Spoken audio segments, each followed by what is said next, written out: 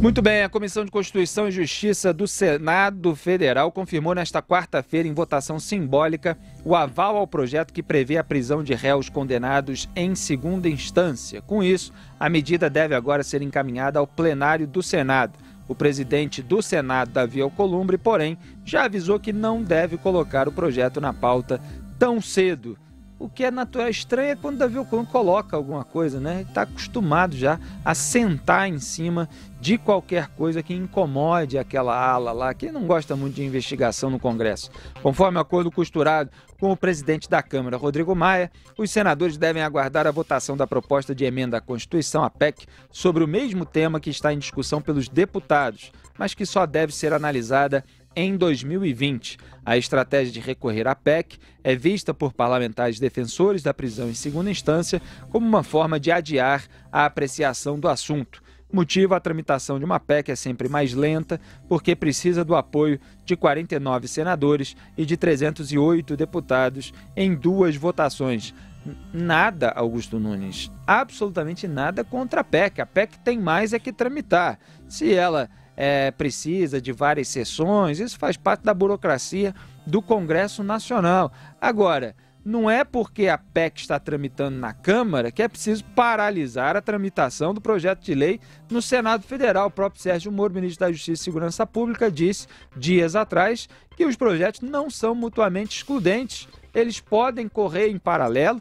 Afinal, para que existem duas casas legislativas? Uma pode querer votar de um jeito, a outra pode querer votar de outro, e um projeto aprovado em uma vai tramitar logo em seguida na outra casa legislativa. É assim o Congresso Nacional. E isso tudo aqui faz parte de manobra para adiar e, a gente vai ver em breve, restringir o alcance da proposta de emenda à Constituição ou do projeto de lei, Augusto.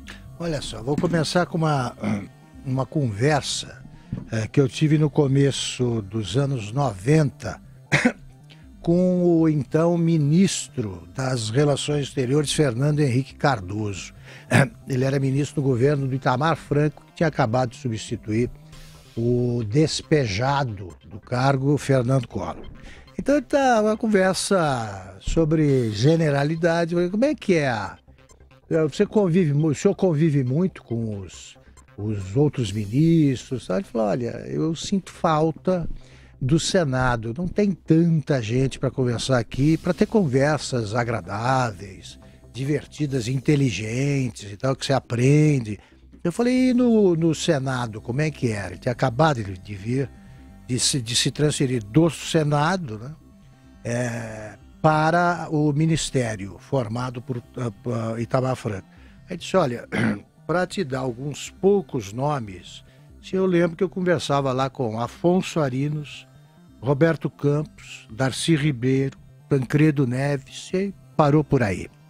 Portanto, não faz tanto tempo assim que você que existiam os chamados cardeais do, do Senado, que geralmente davam os rumos corretos aí a, a, a serem perco, obedecidos para que o Brasil saísse de crises ou não entrasse em crises políticas e, sobretudo, para que o país se tornasse mais civilizado.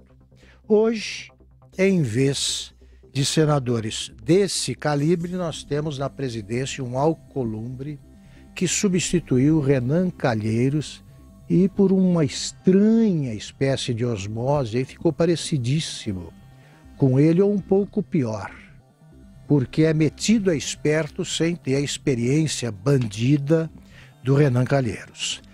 Essa história de. A, a, história, com maiúscula, não vai ser detida nem pelo Rodrigo Maia, nem pelo Davi Alcolumbre.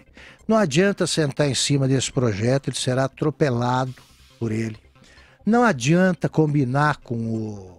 Uh, manobras com o Rodrigo Maia para que se os, para que os projetos sofram uma fusão, porque isso é uma maneira de descaracterizar os dois e só atrapalha. Ele sabe que os dois podem uh, correr uh, simultaneamente e fica com essa conversa para boi dormir. É conversa fiada. Então eu lamento muito a decadência do Congresso.